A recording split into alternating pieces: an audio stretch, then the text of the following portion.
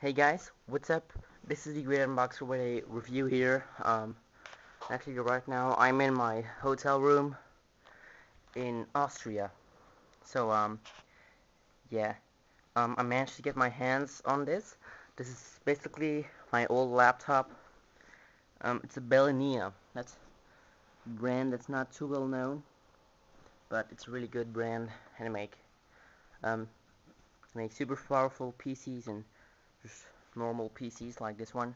Um, this is a really low end because it has a um, 1.66 gigahertz processor, which is not really up to date. So uh, as you can see, this machine runs Windows Vista, um, and it has an Intel Centrino processor. New logo right here.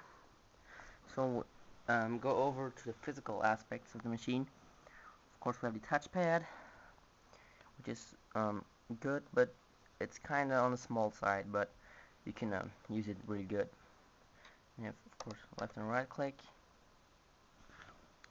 Um, here, me give you some light.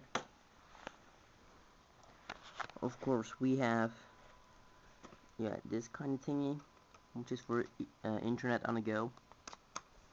Just pull this out. We have an SD card slot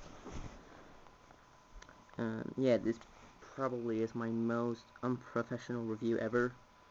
We have a USB, have Ethernet, kind of yellow thingy, VGA, power, and a fan. The fan does get pretty hot. Um, yeah, not too big of a deal. Here we have two more USB ports we have the DVD drive. Not sure of it. Yeah it writes CDs so it's pretty good. And here we have two ports that I have completely no idea of what they are for. So we have the keyboard which is um older style keyboard which um you get used to it really fast little speakers right here. The speaker quality is really good. With some buttons. This is the on button. This is for um, if you close it.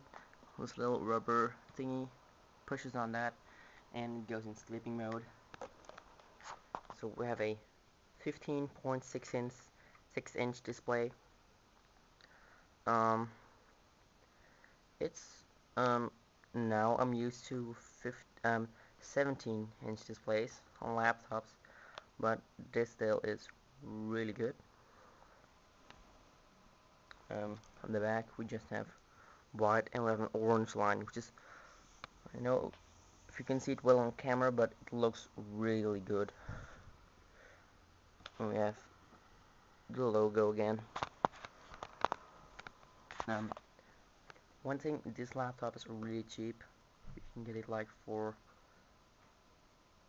$600 something like that.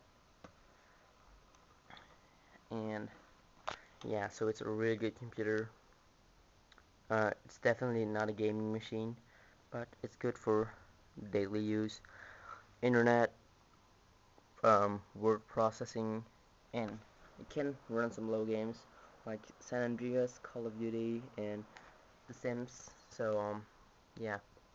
Also this comes with 2 gigabytes of RAM which you can upgrade to 4 and it has a 250 gigabyte hard drive. So that's enough storage.